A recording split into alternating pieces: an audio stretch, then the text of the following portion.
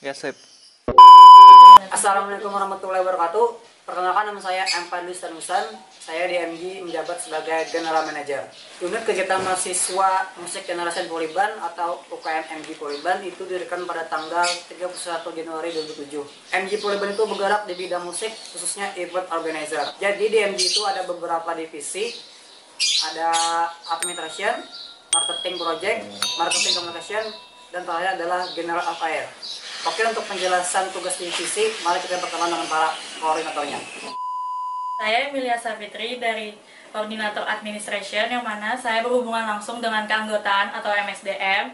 Saya memiliki dua subdivisi yaitu Staff Finance dan Staff, Staff Office. Staff Finance bisa disebut juga dengan sistem keuangan dan Staff Office berhubungan langsung dengan alur birokrasi surat menyurat. Perkenalkan nama saya Muhammad Haris Fadila, saya menjabat sebagai koordinator marketing project di mana marketing project itu sendiri sangat berperan penting dalam pembuatan event uh, termasuk penyusunan konsep kreatif, artistik, desain dan lain-lain. Marketing project terdapat dua subdivisi yaitu event planner dan visual art. Event planner bertugas menyusun rencana dan mewujudkannya sesuai dengan tujuan suatu acara sedangkan visual art berhubungan dengan artistik desain seperti pembuatan pamflet video yang berhubungan dengan publikasi. Salam musik kawan-kawan, perkenalkan nama saya Yedi Jawid Lembuji. Saya di sini menjabat sebagai koordinator marketing communication. Seorang marketing communication adalah mereka yang harus pandai dalam proses promosi suatu produk organisasi. Tentunya harus tahu dan mengerti basic-basic marketing untuk mendapat membuat strategi promosi yang efektif dan efisien. Hai, nama saya Muhammad Imam Rizky Fauzi. Saya sebagai koordinator General Affair. Uh, General Affair mempunyai tugas untuk membantu operasional organisasi melalui penyediaan barang atau penyediaan jasa.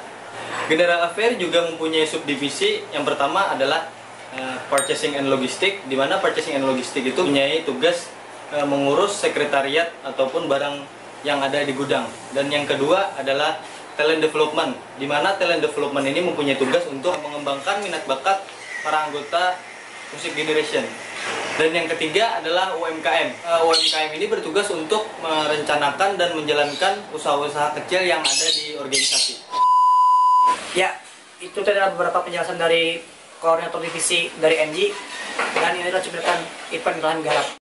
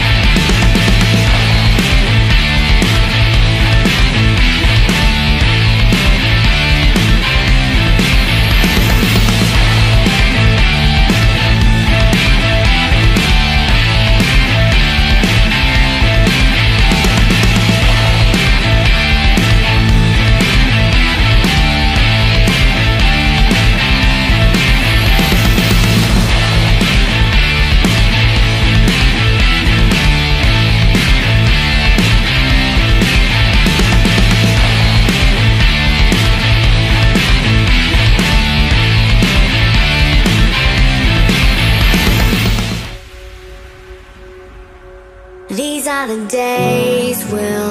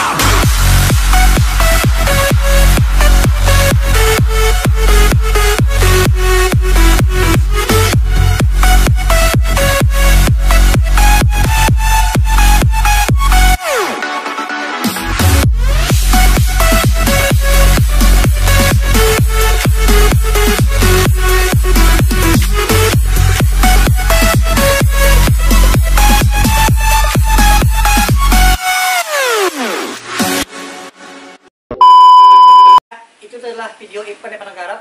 Jika kalian tertarik dan ingin bergabung dengan kami, silahkan klik link yang ada di deskripsi.